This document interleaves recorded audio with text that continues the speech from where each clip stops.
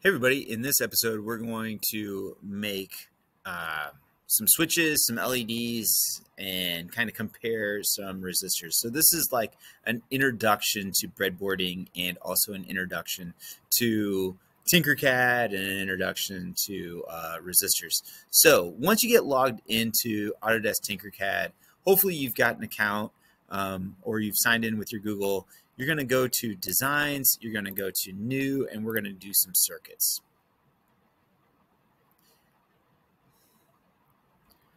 All right, so once this thing gets loaded, we're going to need a small breadboard. So I'm going to grab it and drag it out.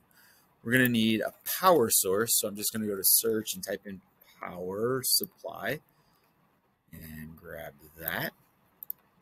And then I always power it and ground it first. So there's ground. I also like to make the colors of my wires, um, I don't know, correct because that's the way I was taught. So ground is black and power or plus is red. So as you can kind of see, I'm doing that. And then I'm going to breadboard or I'm going to wire both sides. So let's get black to black and I'm going to jump this over and go power to power.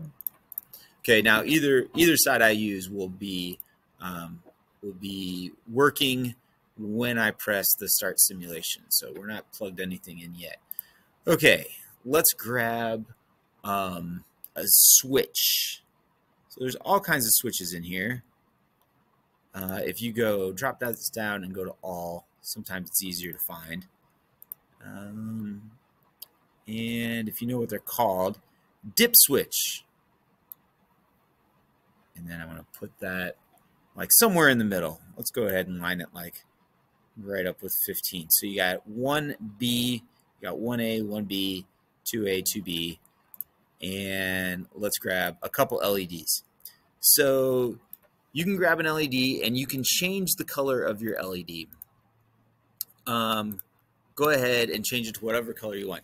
Now, I suggest grabbing another LED, but make sure it's the same color as the one on the left. So I've got them both set up. Okay, then what we want to do is we want to grab a couple resistors. All right, so I'm going to grab a resistor here. I'm going to grab another resistor here. Uh, I think it defaults all the time to 1K, if I'm not mistaken. So 1,000 ohms. Um, on your resistors, you've got your cathode and your anode. So your positive and your negative. So I'm going to run it from the anode down here and jump the gap. I'm going to do the same thing here. So then just on this cathode side, I'm going to make a wire go to ground. And since it's going to ground, I want that to be um, a black wire and kind of the same thing there. And on the top, I'm going to go into power here. So I got to change the color there. And I'm going to go here to here. And so we've got, when I press start, um, when I press start here. Oh, sorry. Let's change this to like 220 ohms. Okay, so I've got that plugged into one. Got it going out 1B, coming around. And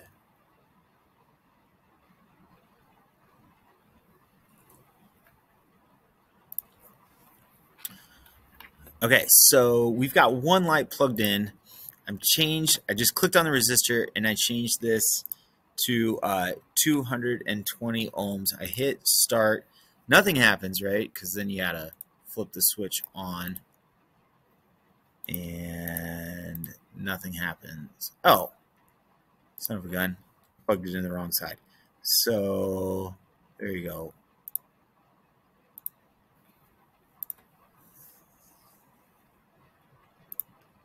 Okay, so as we can see, I've got this uh, resistor plugged into here because these work vertically in my uh, line of sight, and then it comes up here, goes around, and so whenever I turn this on, this is nice and bright. Now, let's kind of keep this one at 1K so we can see the difference. So I'm going to plug that in just like I have this one plugged in. I'm going to bring over a wire here to ground. Boop, boop. And then I'm going to bring this over to this room right here. That is also power. I'm going to press start. Um, if your switch is down, your lights aren't going to turn on, so turn your switches up. You can now see the difference and what resistors really do. So this is a 220 ohm resistor. It's pretty bright. This is a 1K resistor.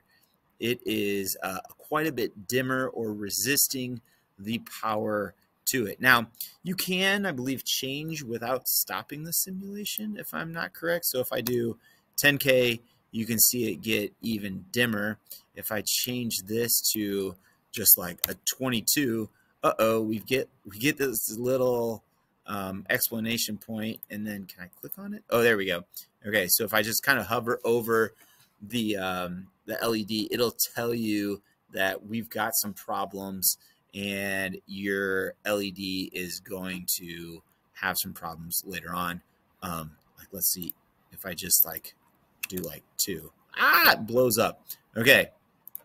This is why this software or this is great because you're not blowing up anything. Uh, it costs you nothing and you can easily fix it by just typing in 220, change that to ohms. And now you can see everything's working. Turn it on, turn it off. Um, you also have been working on probably uh, figuring out what these colors do. And as you can see, when you change these numbers, it changes there too. So it can be an extra resource for you. All right, if you're in my class,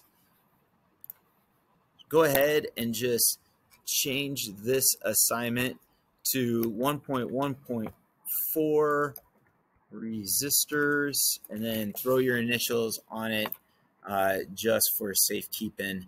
And uh, go ahead and feel free to play. Add some more um, LEDs to it if you want, and uh, change up the resistors, see what they do, and explore. Thanks for watching.